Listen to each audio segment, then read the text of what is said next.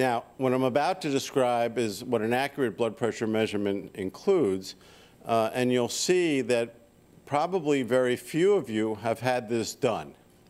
Uh, that even in the best clinical settings, uh, we often don't follow uh, this precisely. So one of the important elements is that the recommendations are to be seated for five minutes in the chair. Um, so that doesn't mean you've just parked in the parking, you're late to your appointment, you're parked in the lot, you race up the elevator, uh, you get there, uh, and you uh, take your blood pressure. And that would, uh, all of these findings, by the way, falsely elevate the blood pressure uh, and may, are making you more likely to be called hypertensive than you might be. The arm should be bared and supported.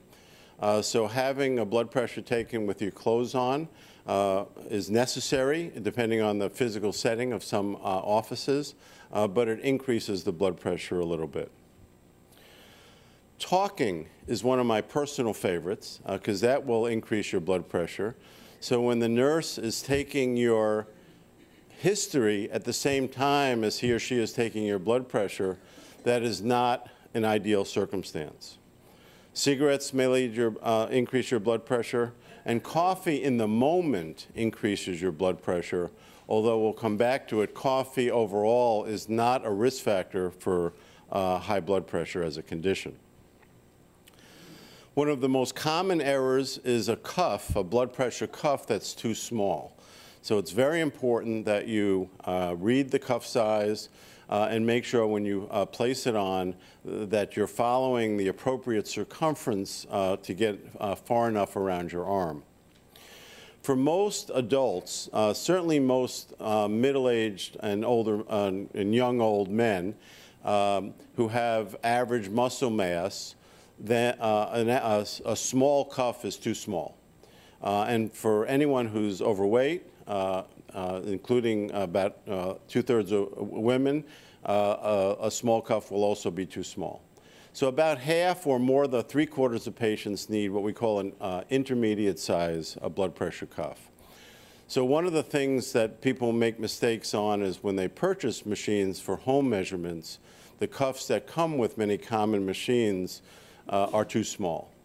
Similarly, when you get your blood pressure taken at a health fair or at a, a, a pharmacy uh, or a machine, for example, again, unless there's attention being paid to the size of the cuff, you're at risk of the cuff being too small. Now, the medical students and nursing students and the like are taught to take the blood pressure uh, based on uh, this manual method that we've used for, uh, for forever. Uh, and we uh, block the blood from flowing, and then we slowly release it. Uh, and the first sound that comes through is called uh, the first Korotkov sound, and that represents what we call the systolic blood pressure. So the measurement of your systolic blood pressure is that very first uh, sound.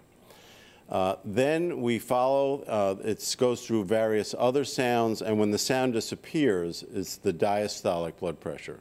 So the systolic blood pressure is the top number, the diastolic blood pressure is the lower number under ideal practices, uh, even in the same visit, we would want to take multiple uh, readings and we'd want to average them uh, at least several minutes apart. And we would never call someone uh, hypertension based upon a single visit unless it's a hypertensive emergency. Uh, we want to see multiple elevations over time. So there's no rush here unless, again, there's a different condition that we call a hypertensive emergency. But just having a high number uh, is not an emergency. Uh, the hypertensive emergencies are a very, very high number and symptoms, or a very, very high number by itself, uh, which is very rare in the United States now. So most of the time, someone will tell you your, your blood pressure is high, and that's just a nice observation, but it doesn't necessarily in and of itself mean uh, that you have uh, the, the uh, condition we call hypertension or need treatment.